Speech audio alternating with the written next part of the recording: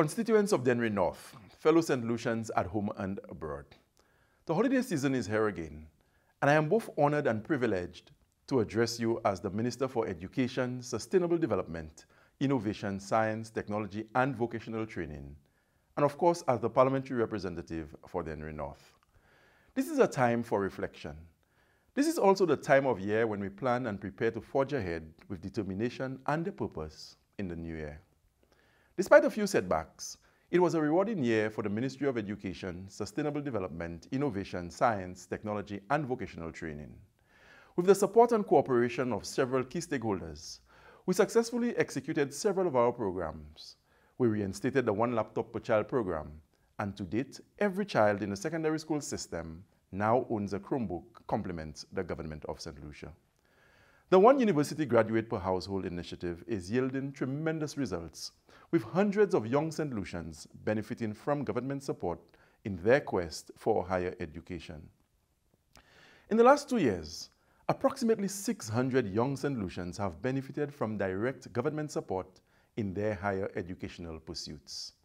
Our government has committed millions of dollars for the reconstruction and rehabilitation of schools across the length and breadth of the country.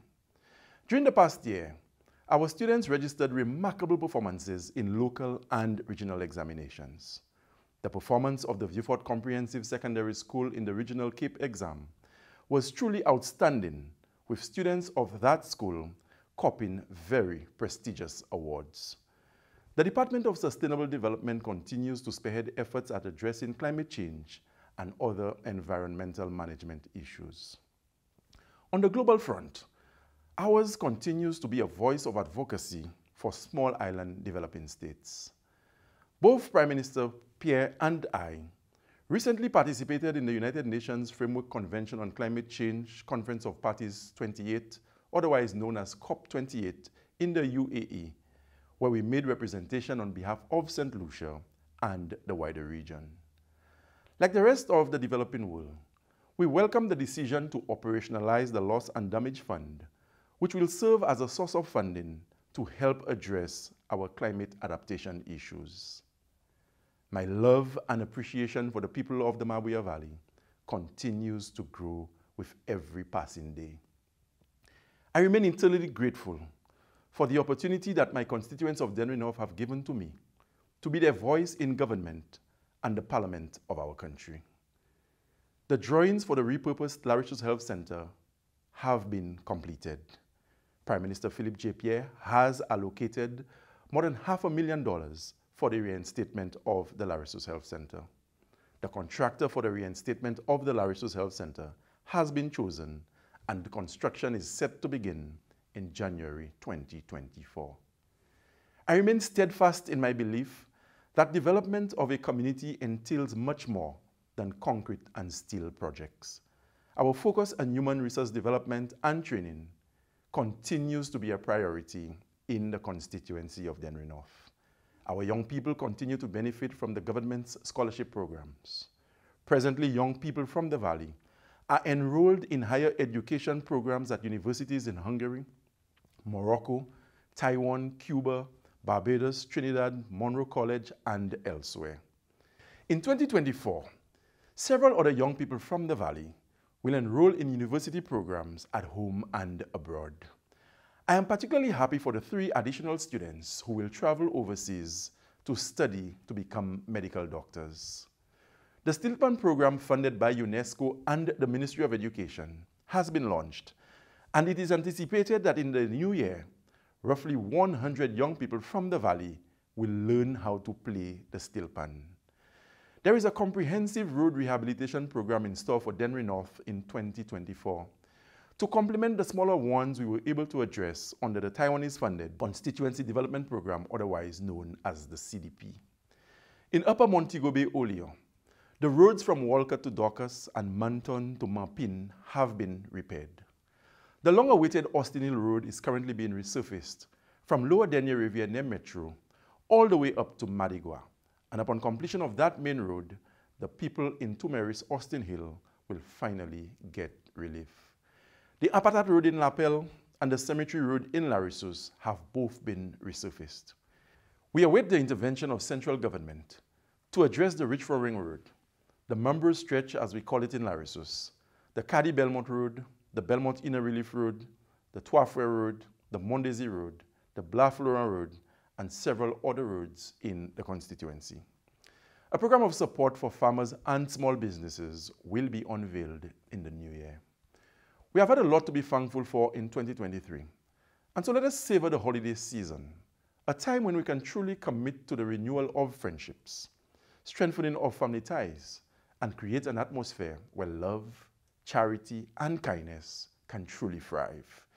It is the time of year when we are expected to do more to help those around us who cannot help themselves. As we celebrate and enjoy the festive season, let us pay a thought for the many families that lost loved ones in 2023. As I look back at the year ended, I must thank the many individuals, groups, and agencies that worked with me throughout 2023. I thank Almighty God for health, strength, and courage to discharge my duties to constituency and the country.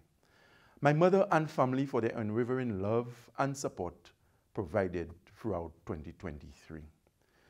I want to thank Prime Minister Philip J. Pierre for his continued confidence in my ability to serve in his cabinet and for the opportunity to lead on regional and international initiatives. I must thank my constituency support teams and staff of the Ministry of Education, Sustainable Development, Innovation, Science, Technology, and Vocational Training, to include the statutory agencies in my ministerial remit, namely, the Board of Governors, staff, faculty, and students of the Sir Arthur Lewis Community College, the management and staff of the St. Lucia Solid Waste Management Authority, the management and staff of the National Skills Development Center, the management and staff of the Pitons Management Area, the National Accreditation Council, and the St. Lucia TVET Council. I also want to thank the Executive Director and staff of the Caribbean Disaster Emergency Management Agency, the CDEMA. From my family to yours, Merry Christmas and God's richest blessings for 2024. Je vous prendre l'occasion pour remercier tout le monde qui travaille avec moi en l'année 2023. 2023, c'était l'année qu'on kon nou fè plizye sikse an menis edikasyon epi menis sustainable development nou ka kouye menis ebe depatman development djouap. Mwen vle remersi tout moun ki travay ek mwen an se depatman gouvernement sa la. Mwen vle di nou avè an chay sikse an edikasyon. Ko gouvernement pou li mouman ka bay an chay asistans epi sipor pou jen moun ki vile ale l'ekol university. Nou jawende apri pe 600 jen moun. Realize sa nou ka kouye djum yo. Kouyo sa ale derye se bagala yo vle fè an universiti pou sa bay koyo travay epi pou fè kare an tanke ka vini. Nou jabay tout mamay l'ekol sekandè an laptop nef. Ek nou vle di, osi an konstituensi mwen. Nou jafan chay sikse kon nou jawanje chimè ek nou jabay moun opotinite pou eleve koyo. Pli go bay pou nou an lane nef la, se health center la resos ki te tapè dwe tui pa di fe kome lane ki pase.